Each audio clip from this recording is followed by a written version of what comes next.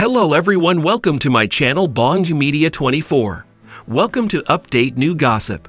Chelsea Houska and her spouse Cole DeBoer are excited to welcome a new member into their lovable family, along with disclosing whether they would be having a boy or girl as their third child. The Teen Mom 2 cast members also revealed that Houska is expecting her third child. What? Houska posted an ecstatic remark alongside a sonogram picture that had a checkered black and white ribbon.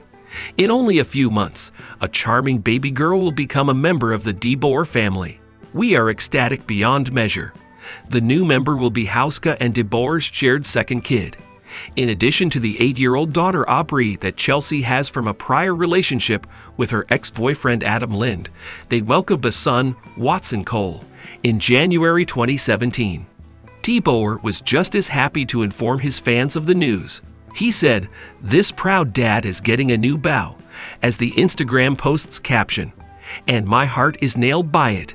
Joining Houska in the Moms of Three Club, fellow Teen Mom 2 cast member Kailyn Lowry congratulated her co-star on Twitter after welcoming her third baby in August.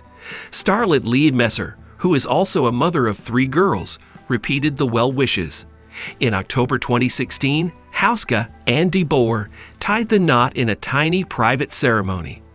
A year later, following Houska's delivery of their son Watson, they had a celebratory event.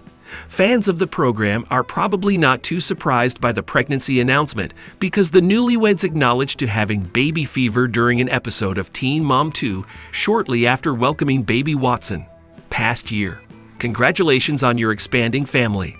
This gossip is over. Please don't forget to subscribe to YouTube channel Bond Media 24. Thank you very much.